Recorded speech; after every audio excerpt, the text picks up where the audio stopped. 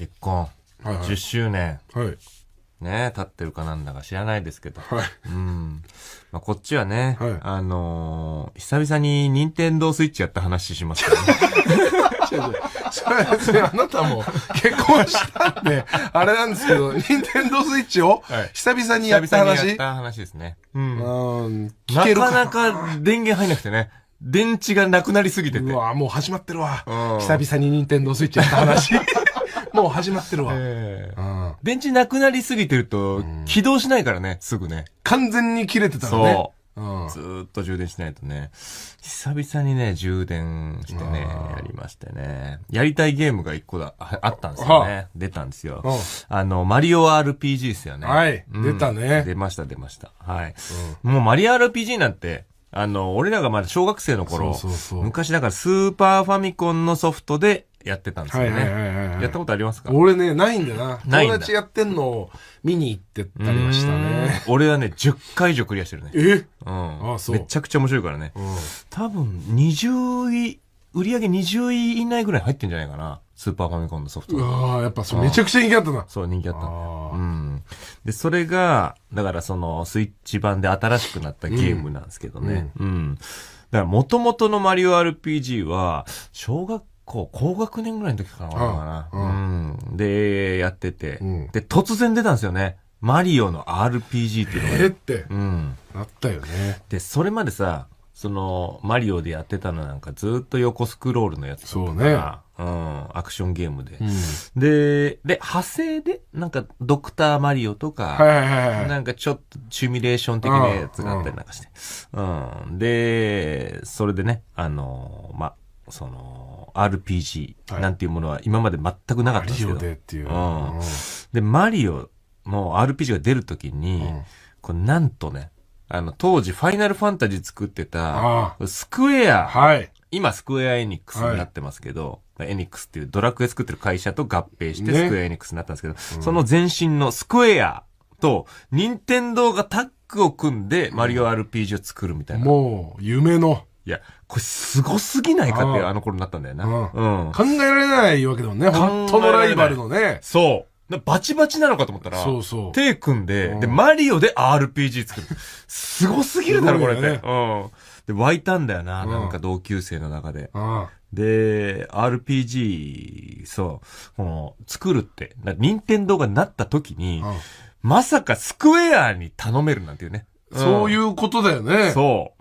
で、やっぱそれはもう、マリオのやっぱ人脈、すげえなっていうか。マリオの人脈っていうかまあんコネクションすごいなっていうことですよね。まあまあうん。まあねやっ。ぱ業界長いだけありますよね、マリオ。うん。まあ別に自分で言ったわけじゃないけど、マリオがねす。ごいですよね。任天堂のまあそうね、社員さん。で、マリオがやっぱスクエアの上の人と飲み行ったりしたんだろうね、多分ね。日本酒持ってうんて、一生瓶持って接て。待してね。うん。いやいや、別そうに、任天堂の社員さんがだと思いい。店連れてってさ、うん。で、酔っ払ってきたら、なんか出し物的に、なんか火の玉吐いてみたりして、ああ、フラプンなんワー。つって、フラうん。ワー。そう、取った後のうん火の玉吐いてみたりなんかして、盛り上げたりなんかしてね。ううんん。ピーチ、ほら、あの、一番奥のあの人の横座らせてもらいなさいな。よくないね、マリオ。マリオよくない接待してるね。座らせてもらいなさい、ほら。あ、すいません、そこいいですかなんつって横なんつってね。うん。ほら、キノピオ。あの、次の店押さえてある？めちゃくちゃ。あの、こ個室の。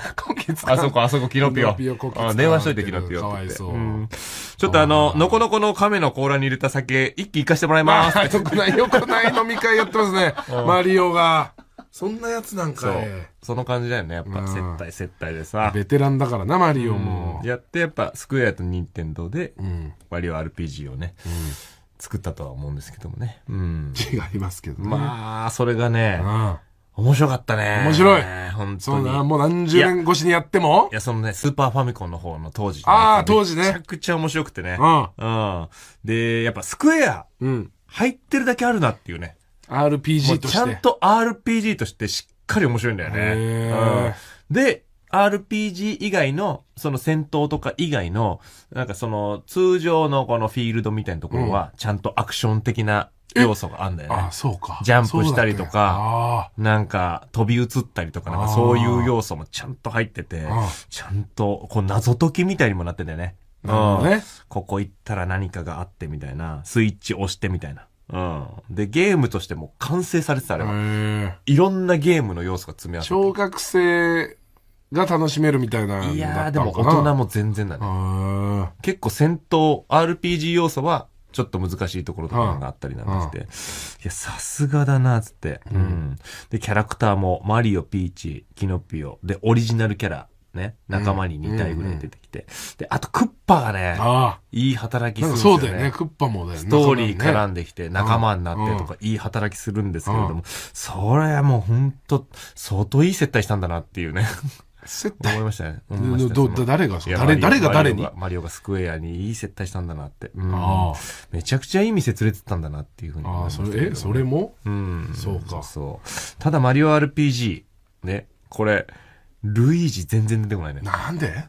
ルイージ全然出てこな。ないんで？ルイージだけ本編一切出てこないからね。一切出てこない？一切出てこないよね。え？うん。ルイージはもう存在すら語られてないんだよね。ええほんとその世界で。かわいそう。何？そう。うん。あ、これもう、あ、ルイージやったなと俺は思ったの。うん。なんで？何が？接待来なかったとかそういうことだそのえ？あこれ接もうそもそ待来なも、かった。うんそもそも来なかったん？もしくは、いあの、来たけど、酔っ払いすぎて、そのスクエアの人たちに、俺あの、まあ、でもドラクエハスから、とか言って。うわ、最悪。最悪。そう。酔っ払ってね。最悪。ベロベロになって、俺ドラクエハスからね。そこなんて当時はもうだって一番のそう、ね。一番バチバチだったよ。ライバルでしょううんから。多分そのタイプだったと思うんだよね、ルイージは。ルイージ？うんじゃあ、酔っ払っちゃうと。しょうがないやつだね。ほんとやばいよ。ルイージは。うん。酔ってさうん、でもノリいいから、酔っ払うと。最初はなんすごい喋って、うん。ちょっと気に入られ出すんだけど、ある、その、酔っ払ったあるところから一線越えてきちゃうタイプだよね、やっぱね。うん。結局 FF って、あの、マニアに刺さるだけですもんね、とかね。うんそんなこと言っちゃうねルイージは。作れんすか俺らで面白い RPG。いけんすかうわうん。で、めっちゃめちゃ下ネタの歌詞に変えたあの、飲み曲みたいのをカラオケで最います。最悪です。うん弾いてたでしょ？ピーチも弾いてたでしょ？もう。ピーチは弾いてるよかわいそうに。そう。え笑ってるけど弾いてるよね、やっぱね。あーうん。で、向こうの連れてきた女の子たちにもね、あの、セクハラしてね。ルイージは。うん。最低だな。で、最終的にちょっと喧嘩になるからね。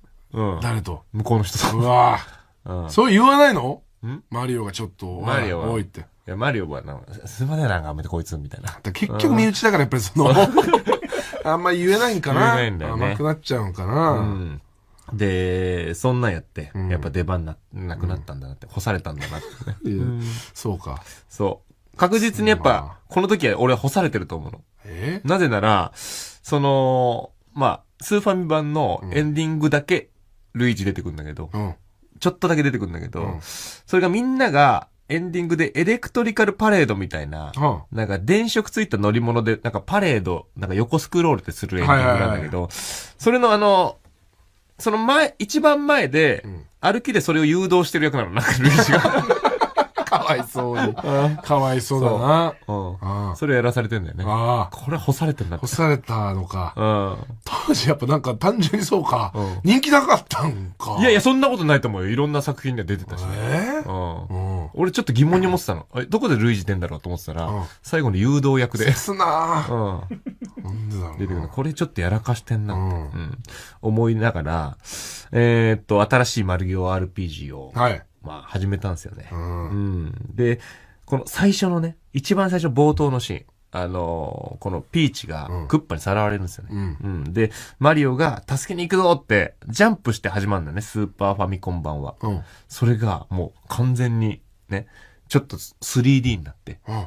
別角度、なんか3次元の角度で再現されてるんですよね。ああ、もうでも同じ感じのがうわーっつって、進化してんだ。で、絵綺麗になってるし、懐かしい、みたいな、すげえ、みたいな。で、やり出してうん、進めてったら、いやもういろいろね、もうわかるわーって覚えてるわ、これ、みたいな。ああ、やってるとね。すげえ、みたいな。で、うわ、ここ、うわ、再現されてる完全に、みたいな。うん。うわ、あったあった、これ、みたいな。そんなん連た発。まんないね、そうんの体験。で、あ、この謎、覚えてるわって。へうん。ーうわ、これ、これでしょ？これでしょ、あ、ほら、ほら、そうだよって言って。うん。そうだよね。すげえ喋ってる。ほ。ら、ここに隠れた。アイテムあったもんね。ほら、あったあった、みたいな。ううんん。で、出た。このパスワードね。パスワードのこれ。あ、わかるわ、このパスワード。はい、当たったみたいな。ううんん。わわわわ、すげえな、これって。これも再現されてんあだ。あ、敵、これ弱点だったよね、みたいな。よかったよかった、倒した倒した、みたいな。楽しんでる。あれって？え？あこれ全部一緒じゃない？ってな まあまあ、そうか。全部一緒じゃない？これって。あれ、うんそうか。全部一緒すぎんのよ。なんか、いや、もうさ完全うん。再現というか、まあそうだね。完全。うん。そうか。なんか、うん。あの、謎とかは変わっててもいいじゃん。全部一緒なのよ。うん。だから、え、分かっちゃうんだ。そんな覚えてんだ。あのね、覚えてんの。へえ。もう全部一緒で、うん。なんか絵は綺麗になってんだけど、ストーリーとセリフも一緒だし、うん謎解きも一緒だし、マップ一緒なのよ。完全え。よに。く覚えてでるね。、マップの縮尺が一緒なのよ。うん。この距離とかも。うん。で全部一緒なの、なんか。へえ。本当に。うん。だから本当にスーファミやってんのと一緒。絵が綺麗になってるだけ。ああ。うん。で、俺ももう10回以上クリアしてるから、そうか。全部の攻略が分かっちゃってて、あうん。8時間ぐらいでクリアしちゃったのよ。えー？全クリ。早っ。いや、俺も、うわ、早ってなって、うん。うわ、何これっつって、うんで、エンディング流れてきたのよ。エンディング流れてきてから、あの、ルイージがパレード誘導してんだよ。いや、一緒じゃん。ずっと干されてんじゃん、こいつって。一緒だっまだ干た。されてんかいと思って。ええうん。で、裏目もクリアしちゃって。裏目まで。うわ、終わっちゃったってなってね。うん。だから俺本当に後悔したよね。うん。小学校の頃、マリオ RPG やりすぎた。やりすぎたことによって起きたそう。弊害。やりすぎた。しょうがないな。本当にね、パスワードを集めなくてもパスワード分かっちゃう。あ あ、あんのかそうだった。そう。最悪じゃない。なんでしたっけ？来週もあれか。スペシャル、スペシャルウィーク。スペシャルスタイルウィークですね。スペシャルウィークは全くやってませんので、TBS でしそれ言わないでください。それもう危ないっすよ。スペシャルスタイルって言うだけで。干されますからね。スペシャルスタイルって言っちゃった。スペシャルスタイルはいいんでしょ？スペシャルウィークって言うだスペシャルウィークっていうだけで。干されますスペシャルスタイル誘導させられますよ、あなた。パレードの誘導。干されたら、みんなパレードの誘導なルイージみたいにパレードの誘導させられます。やだわ。うんそれだけはやだ。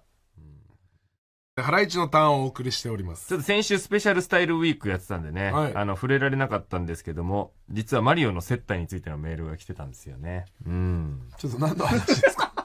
何のまあ、先々週の話なんですけどね。はで、先週話せなかったんですけど、あの最近ちょっとマリオ RPG、スーパーマリオ RPG のリメイク版で私が遊んだんい。ですよ。覚えてるわ。で、これ、任天堂とスクエアの夢のタッグが実現したのは、はいえっ、と、マリオがスクエアの社員を接待したからじゃないかとか、えールイージの出番が少ないのは、えー接待の席でやらかしたからじゃないのかみたいなね、えー仮説を私は喋ってたんですけれどもね。仮説っていうかまあね、うん。なんかまあまあ。まあ、ほぼね、えー本当いやいや、に近い。違う違う違う違う。ほぼ本当なんですよ、ね。そうですね。ああ、あるわけないからマリオが。その仮説について、うんあの、メール来てたんですよね。ちょっとしか出てないでしょ、ルイージがね。ルイージがね、もう一番最後のエンディングちょろっとしか出てないね全然出てないね。はい。